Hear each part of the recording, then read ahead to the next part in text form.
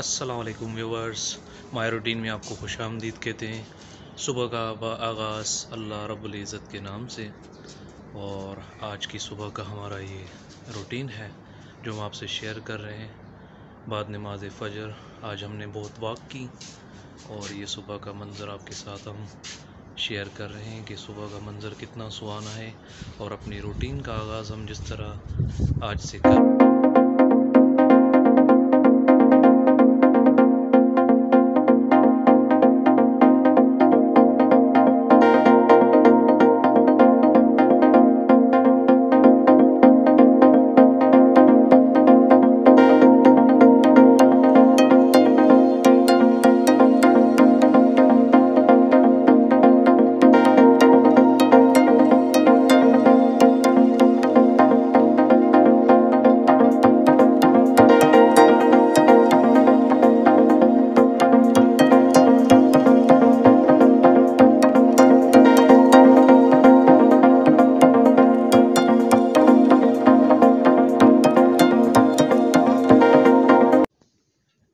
जी viewers आज जो हम रेसिपी आपके साथ शेयर कर रहे हैं, जिसे हम मीठा गुल्लती कहते हैं इनमें जो जो चीज़ें हमें दरकार हैं, वो आप सामने स्क्रीन में देख सकते हैं। खोया ड्राई फ्रूट और गुलाब जामुन यानी चमचम।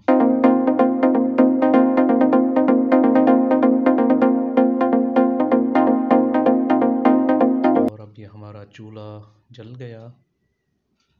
सबसे पहले हम चावल को बॉयल करेंगे। हमारे पास थ्री के जी चावल हैं, जिनको हमने दो से ढाई घंटे के लिए भिगो दिया था। और अब ये इसके बॉयल का हम पानी रख रहे हैं। इसमें थोड़ी सी काली मिर्च हल्का सा नमक डाल के इसको बॉयल देंगे।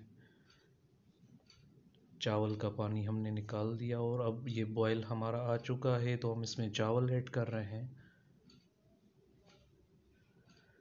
चावल ऐड करने के बाद हम इसे 10 से 15 मिनट तक इसको बॉयल देंगे, ताकि ये अच्छे से बॉयल हो जाए। इसमें थोड़ा सा सिरका ऐड करेंगे, ताकि चावल हमारा टूटे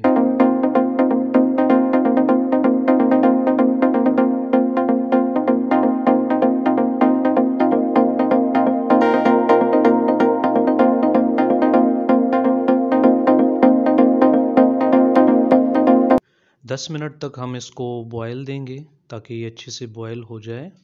और थोड़ी देर के लिए हमने इसको ढाँप दिया है मीडियम फ्लेम के अंदर। अब देखें हमारा चावल बॉयल हो चुका है और अब हम चावल छान के निकाल रहे हैं, क्योंकि पानी इसका बिल्कुल निकाल लेना है।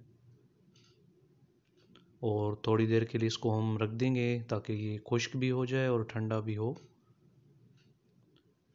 इससे ये फ़ायदा होता है कि ये टूटेगा नहीं। और जब हम इसको आगे चल के चाश में ऐड करेंगे तो ये बिल्कुल अपनी अच्छी शक्ल में रहेगा, साबित रहेगा, टूटेगा नहीं।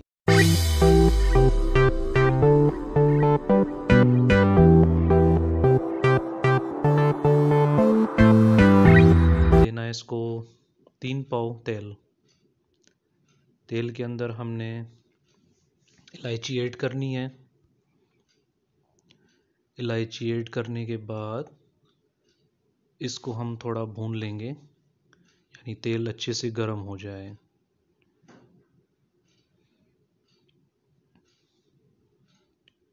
एक अच्छी सी महक आती है इसमें, जब आप इलायची डालते हैं ऑयल के अंदर तो एक बहुत प्यारी सी महक आती है। इसको ज़रूर ट्राई कीजिएगा अपने घर में, अपनी दावतों में, ये बहुत ही लजीज डिश है। जी हाँ तेल देखिए हमारा गर्म हो गया। अब हम इसमें चीनी ऐड कर रहे हैं। थ्री के जी पे थ्री के जी चीनी चलेगी। थोड़ी सी आप कम कर दें। कोई ज़्यादा मीठा पसंद करता है, कोई कम। अच्छा चीनी डालने के बाद हम इसको मिला लेंगे अच्छी तरह। इसमें से थोड़ा सा पानी भी ऐड करेंगे ताकि हमारी चाश अच्छे से पकना शुरू हो जाए। और इसके साथ साथ हम इसमें दूध ऐड करेंगे। चाहे पैकेट का हो, चाहे आप ड्राई ले लें या आप बाहर का दूध जो मिलता है वो इसमें डाल लें, वो डिपेंड करता है आप पे, जो आपके पास मौजूद हो। ये देखें, ये हम इसमें दूध शामिल कर रहे हैं। ये इसके जायकों को बहुत अच्छा करता है, मुनफरद बनाता है। और अब हम इसकी चाश बनाएँगे। सारी जो मेहनत होती है, इसकी यहाँ पे होती है। कि इसकी चाश बहुत अच्छे से बनानी होती है। अगर इसकी चाश अच्छी नहीं बनी तो इसका जायका उतना नहीं आएगा। और इसको हम चाश को अच्छी तरह बनाएँगे। अब ये अपने कलर में आएगी। जी हाँ ये देखिए हमारी चाश पक रही है बिल्कुल। और थोड़ी ही देर में, यानी तकरीबन आप 20 से 25 मिनट इसको पकाएँगे। अब ये देखें कलर ला रही है। और इसका ब्राउन कलर आना चाहिए। जब तक इसका ब्राउन कलर नहीं आता, यानी ये अच्छे से नहीं पकी, हम और वेट करेंगे इसका। जी हाँ देखें, अब ये कलर निकाल रही है और कितना अच्छा कलर आ रहा है, आप देख सकते हैं। और अब हम इसमें ऐड करेंगे खोया। खोया एक बहुत लजीज चीज़ है और बहुत सी डिशेस में स्वीट डिशेस में इस्तेमाल होता है। जी हाँ खोया ऐड करेंगे और खोए को इसमें हम भूनेंगे। ताकि खोए का कलर एक मुनफरद कलर आ जाए, क्योंकि ज़्यादा डार्क कोई रखते हैं, कोई नॉर्मल, कोई बिल्कुल वाइट, हम इसको मीडियम रखेंगे ताकि चावल का कलर बहुत खूबसूरत आए। ये देखें, खोया इसके अंदर पक रहा है और एक अच्छी सी महक आ रही है, बहुत ही अच्छी किस्म की महक, जिसको आप बनाएँगे तो ज़रूर फील करेंगे। इस वक्त मैं कर रहा हूँ। देखिए कितनी अच्छी तरह ये पक रहा है। इसका फ्लेम हमें नॉर्मल रखना है, कम नहीं करना, क्योंकि हमारी चाश वरना बिल्कुल ही जम जाएगी और इसको जमने नहीं देना और आप इसको चम्मच को मुसलसल हिलाएँगे इसमें।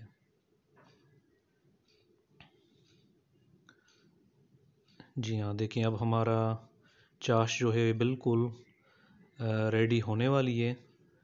जैसा कि मैंने आपको बताया कि इसमें 20 से 25 मिनट लाजमी लगेंगे, अगर आधा घंटा भी लग जाता है तो आप इसको लगा लें ताकि ये अच्छी तरह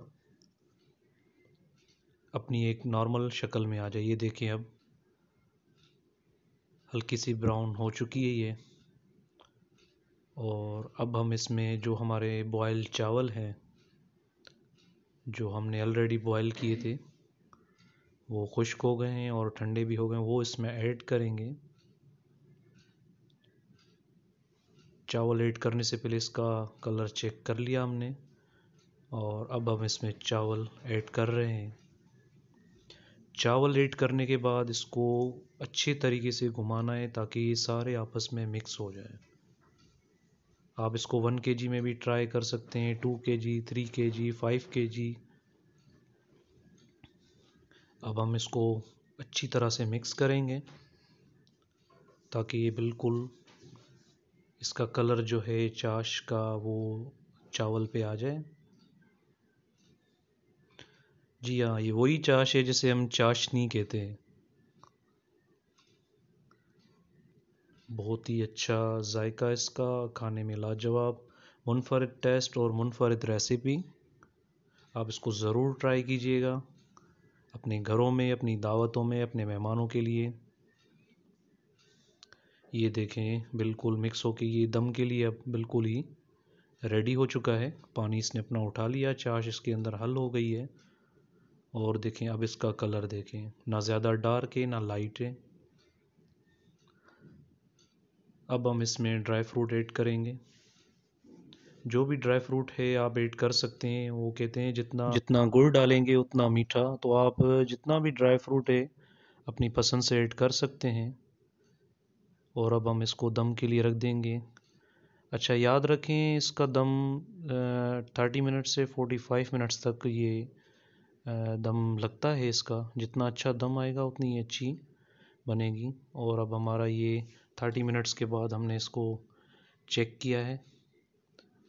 और अब हम इसको मिला के देखेंगे। देखें, इसका पानी बिल्कुल खुश्क हो चुका है। बहुत ही अच्छा कलर, बहुत ही अच्छी खुशबू के साथ। ये देखें इसका कलर। अभी भी हम इसको पंद्रह मिनट और दम देंगे ताकि ये बिल्कुल खुश्क हो जाए। जी हाँ तो ये मज़ेदार रेसिपी अब रेडी होने के करीब है। फाइनली इसकी हम अब डेकोरेशन करेंगे। डेकोरेशन यानी जो ड्राई फ्रूट्स और खोया वगैरह इसके ऊपर लगता है। गुलाब जामुन चमचम हो गई। ये देखें जी। ये अब हम इसमें खोया ऐड कर रहे हैं ऊपर से।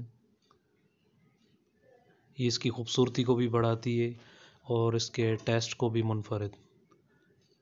जी हाँ ये हमने खोया ऐड कर दिया। अब हम इसमें चमचम ऐड कर रहे हैं, ये देखें। इसके अंदर अशरफ़ी भी आप डाल सकते हैं, पेठा आता है, वो भी ऐड कर सकते हैं। जो मतलब आप चाहते हैं इसमें ऐड करना काजू वगैरह, पिस्ता सब ऐड कर सकते हैं। मैंने सिर्फ़ बादाम और पिस्ता ऐड किया है, क्योंकि ज़्यादा हेवी हो जाता है। कुछ लोग खाते हैं, कुछ नहीं भी इतना हेवी खाते मीठा है, ज़्यादा खाया भी नहीं जाता। सिर्फ़ टेस्ट के लिए खाया जाता है ये। और कुछ लोग इसको बड़े शौक से भी खाते हैं। देखिए जी फाइनली हमारी ये रेसिपी हो गई तैयार।